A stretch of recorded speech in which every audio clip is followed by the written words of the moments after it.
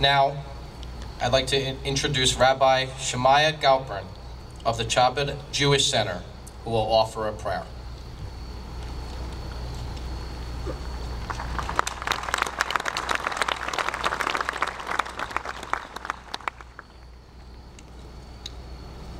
Avinu Shebashamayim, our Father in heaven, we gather today to thank you, Almighty, for giving us the strength to meet hatred with love, destruction with rebuilding, and death with life. We give thanks before you for giving us the ability to turn tragedy into triumph and ashes into rebuilding. We cannot allow those who wish to destroy us to be successful by being paralyzed by our own sorrows. That each one of us find a way to add and increase in positive acts of goodness and kindness, of charity and of prayer.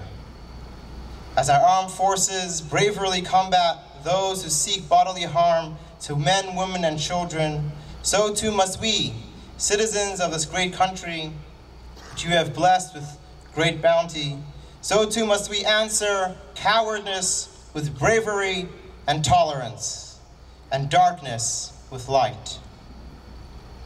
Av Harachamim, Father of compassion, shelter the souls of the dead under the shadow of your wings, and give strength and comfort to the living, courage to those who fight terror, and wisdom to the leaders of the world, that they may guide us to walk in the ways of righteousness and peace.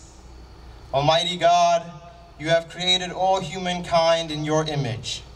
Teach us to remember the sanctity of life, the evil of terror, and the danger of a world filled with violence.